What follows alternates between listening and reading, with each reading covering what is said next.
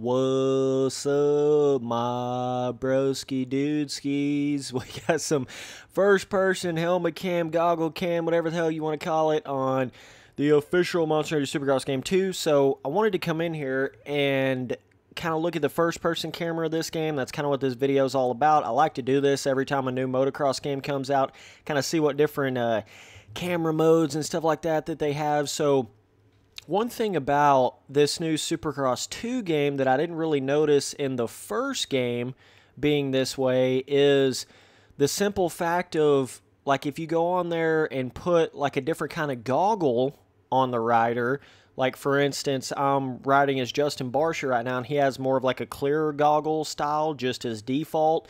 But if you go on there on like Eli Tomac, he's got more of a uh, like red tinted goggle and it actually changes the way the goggle camera in the game is. I thought that was kind of cool. So we might go in there to a different rider here in a second where he's got different goggles and i'm sure if you have your own custom rider and you change the goggles on him it'll do that as well. It'll change the actual goggle camera. So i thought this was a really cool thing that they've put into this game right here just simply because instead of just having just the first person, they've got the goggle mode in there as well. That's what you don't normally see in a lot of other motocross games, uh, like an actual, you know, true goggle mode. So it's just cool. It's just interesting. I would have thought at this point this game would have had more of like dirt getting up on the goggles and pulling tear offs. I think that would have been a really cool addition they could have added to this. I'm not saying it had to be anything crazy, right? But especially like when you're riding with the mud mode on and stuff like that, I just thought that would have been really cool to have in this game. So let's see. Can you quad this? Yeah, I think you can. Okay, we'll sweep it around like this. Uh, so yeah, dude, this game's pretty interesting. I, I like a lot of the the on track type changes and stuff they've made to it with the uh, there's some tracks in this game that are no joke dude. Like they're I, I, never thought i'd say that about a milestone motocross or supercross game but there's a couple of them on here where it's like i mean it's it's pretty tough to hit some of the jumps and stuff like that on it. Um, I, I think it'd be so cool if in their next game, I'm kind of getting off topic a little bit here, but I think it'd be so cool in their next game if they really try to free up their physics, which I'll, I've talked about that from day one, right? I'm not saying make it like a simulator, but just free up their physics a little bit. But they're they're certainly going down the right road when it comes to track designs and making just the on tracks more skill gapped. I think they certainly are getting that more like it needs to be. Oh, those whips went backwards and a half. I'll tell you that right now. But so can you triple that? Yeah. Okay, cool.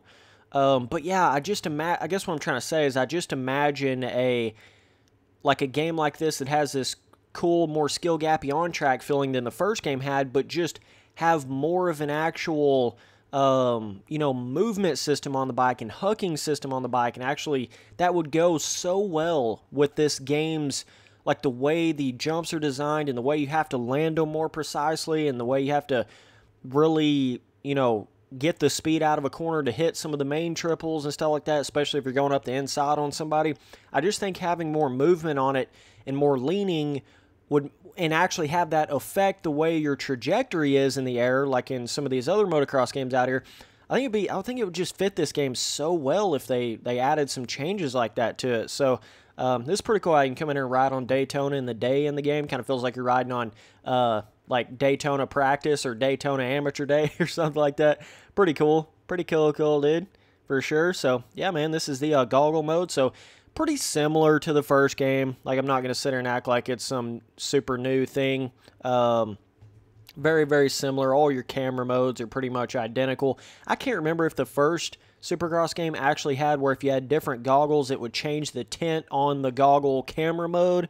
Can't remember if that was the case, but um, it certainly does that in this game, and it uh, basically like it still muffles out the sound, right? So like let's just say I go in here to the normal first person mode, looks totally different than the goggle mode, but um, if I come in here like this, right, you'll still hear the bike like pretty loud, but if you go in here to the goggle mode, it'll actually muffle it out like you got a helmet on. So that's kind of an interesting little addition they would that they've put in there, uh, and I think that was actually in there in the first game as well. But um, yeah, you would just think if they would go to the extent of putting a goggle mode, especially now that we're to the second game that's got a goggle mode, you would just think at this point they would have some sort of you know, dirt, mud collecting on the goggles and like a tear off system, and you only have so many tear offs in a race, so you got to use them wisely, or unless you get out front and you don't get any dirt, you know, it actually has that whole system of like someone actually has to flick up roost right in front of you for dirt to get on your goggles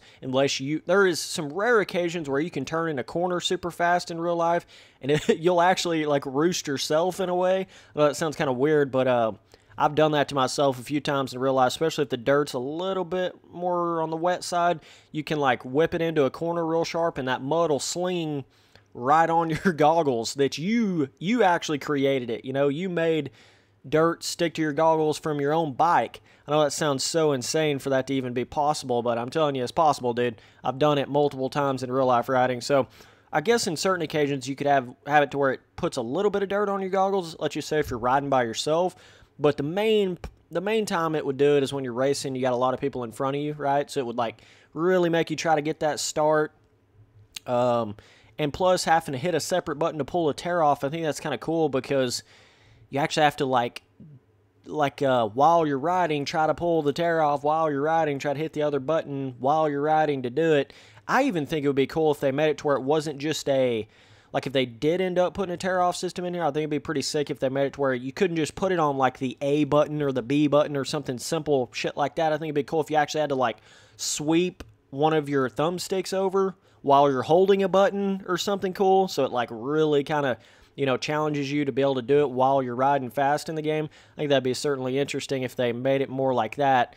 Um, because in real life, I mean, especially if you're not used to it, like it's pretty hard to tear tear offs uh, while you're right in the middle of a race and you got dudes right on your ass. And, you know, I, I noticed that in real life when I was trying to pull tear offs. The only time you can really do it without losing speeds is doing it in the air, which there's a lot of local vibe motocross tracks that don't have that big of jumps. So sometimes it's kind of hard to do it when it's like that. But, um, yeah, I don't know. This Daytona here, uh, it's okay, but I think it's just not quite as fun as the Daytona that was in the first. Fisher Monster Supercross game. But I'll come back on the Eli Tomac show you guys kind of how the different goggles can look in here. Okay, so here we are with the Eli Tomac. You can see like a totally different feeling here. This is really cool, dude. I like how they've it's it's those little touches like that that makes big differences in games. I think a lot of game companies don't understand that and realize that sometimes. And little things like, you know, popping you instantly off of a tough block, just barely grazing it, like super annoying you know, that kind of stuff, not that big of a deal. It feels like you could fix that so easily. But yet it's such a hassle, such an annoying thing. But like something where you go in there and just make it where the goggle camera actually has different tinted colored goggles on it just just immerses you that much more you know makes it feel that much more real makes it feel that much more cool when you go in there and put different kind of tinted goggles and stuff on there um, so yeah it's pretty interesting man I figured the I honestly figured the Daytona on this they would have put some more like maybe hardcore ruts, you know, make it more like a motocrossy style track on this game. Um, I just would have thought they would have made it a bit more challenging than it is here. You know what I'm saying? Would have thought they might would have uh, kind of went down that road with it a little bit. Whoa, you can uh, over jump that a little bit. That second triple after you come off the table on off. But yeah, this game definitely has a slower pace to it than the first one. It doesn't have that whole thing where, uh, you know, it's got that like super fast, the screen moving to you feels super quick and all that like the first game had. Just just the overall feeling of this game in it in its entirety feels slower paced, but it's actually I feel like it's more skill gapped, even though it's slower paced on some of the more difficult tracks because even though it's a little bit slower paced, the tracks are rougher. They do have small pre-made ruts, not like big, like you can really get down into them, but they do have small, kind of rougher pre-made ruts and roughness on it, which is cool because it makes to where you can't just get those laser wide open around a corner, wide open through every section, not even have to think about anything. You know, everything's a little bit smaller, tighter. I say smaller, like I'm, I mean like the overall scale of the tracks. Most of them seem a little bit like smaller, but the thing about it is, is the jump peakness, everything seems more peaked out. So you've got to be about twice as more precise on most of the tracks jumps in this game than you did the first game. Even though it feels like you're going about twice as fast in the first game than you are this one, you're you're actually having to think a lot more on this game. This game's got more of a you have to time stuff out. You have to think ahead. You have to really be like, okay, if I don't hit this corner on the outside, I'm not going to be able to hit that rhythm in the next corner, in the next, uh, you know, straightaway, the next rhythm section.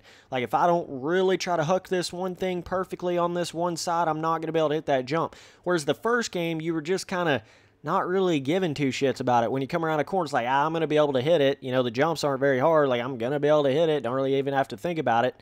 But uh, I just, I guess I would have thought in my own mind, like coming in here on a Daytona, they would have just made something, maybe maybe made the ruts a little deeper, pre-made. You know, you could really like run up the inside and get in a pre-made rut or something like that. Because you guys know the terrain deformation in, in most of the milestone games is more cosmetic than it is physically changing it. So I don't know. I guess in my mind, I just thought it would have been cool to have the Daytona a little bit more hardcore, rough, ruddy, something like that.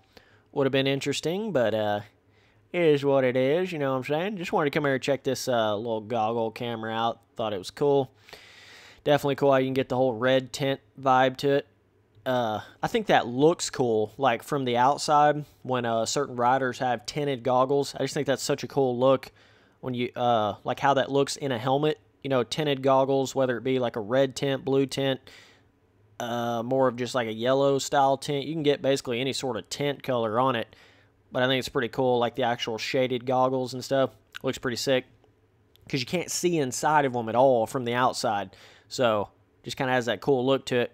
Uh, but obviously, you don't want that at nighttime racing because that would be kind of bizarre. But during the day, like this, especially sunset riding motocross, when you got the sun right in your eyes on the start straight or something like that, you can certainly have a little bit of an advantage. But uh, yeah, I made a couple of ruts right here in the sand. So this area, you can either choose to go outside around that corner or go inside, and you can still hit the triple there. Yeah, I just would have thought some of these sections, like specifically that one that one uh, rhythm right there that I was on, thought that would have been a little more challenging than it ended up being here. Uh, I guess that's one of the sections I was thinking, man, you know, I figured that would have been just a little bit more difficult. And then the Dragon's backs, being the fact that the whoops are not hard in, in this game, haven't been hard in any milestone game, really, makes to where your Dragon back sections aren't really difficult. They do have a little bit of a bug here where the rider's arm will kind of glitch out. I don't know if any of you guys noticed that, but that will happen at times. Okay, so you can quad. What was that, a quad in? That's cool. Finally hit that as hard as I could. So like you can hit some bigger a little slightly bigger rhythms on a couple of these sections, right? Like I think you can quad out into the corner right there on that one section and quad into the, the section before that. We'll try to do it on this next lap. But uh, it's not like that's really making you go all that much faster because just simply the jumps are fairly small on this Daytona track here. So, you know, even if you don't hit it, not really like you're going to die, not really like you're going to crash. Um, dragon back there, super easy. So you can actually jump over that tabletop, but I think it's not as fast because you kind of swoop down in the transition too far. Uh, you kind of lose your momentum in that sense. So don't really think that's all that much faster. But yeah, interesting how they put this whole game together. You could probably jump all the way into that a little bit. We'll try that on the next lap. But uh, I was impressed with some of the tracks in this game, though, for sure. Like, I was actually really surprised by how they did some of that. Okay, so let's see. Yeah, that's a quad, and then you can double. Now, right here, they made that pretty rough, so it makes it harder to huck that quad out. Uh, hmm. Yeah, a little bit bizarre there. uh, and then you can huck this as hard as you want to. Finally popped off doing that. I've never popped off jumping that, and I've hit it wide open every time, so that was cool to finally pop off there. Uh, okay, gonna jump through some of those little rollers there. Now we're scooting boys. Okay, spun out just a little bit. This is my first time ever actually really playing with the, the uh, first-person goggle mode in this game, so it is a little bit different than the first Official Monster Supercross game, right? Because obviously this game, just the overall feeling of it is kind of like you, you know, you mixed MXGP Pro with, so you can jump down in it a little bit, I guess. Can you jump up over that? Ooh, I don't know about that, boys. That'd be pretty tough to hit that like that. But let's just jump this wide open. Yeah, you can almost jump all the way to there. Not sure how feasible that really is. Woo! Papa Willie, no squilly, boy. Okay. Uh, yeah, I don't know. There's something weird though when you play a motocross game in first person that has a weird whip system to it. It's very difficult to uh, like come come across jumps properly like you really want to and stuff like that. Um, but I think this is going to be cool when people really go in there and start making some of the custom tracks on this game. That's really when you're going to start getting a lot of fun with the skill gap. Uh, so yeah, and I hope they add in DLC like a whole lot more. I hope they just give us some more free custom track pieces and options and stuff. Honestly, like not even as DLC. Like I feel like that needs a lot more than what it has right now, personally. But that's just me, dude. Skis. So, yeah, bro, don't want to make this video too long. Just want to come here and kind of check this out. Uh, yeah, so you can kind of wheel tap a little bit there. Come around here. Wheelie over that. Jump to that. And then triple out of that. Trick to that whole section right there is hitting the track on the right width part of it. I learned that riding on this track here in the mud. Um, so yeah, you just kind of got to learn. Like there's certainly with a lot of the tracks in this game, there's some areas on the width of some of the lips of the jumps are way higher than other uh, spots of the jump face. So depending on if you hit it on the left side of the jump face, right side of the jump face, you know, middle of the jump face, going to totally change the the trajectory and the way you actually hit the jump in that sense. So either way, dudes, appreciate you guys watching all the videos. Later. Gotta love those tough blocks, baby. Concrete, bro.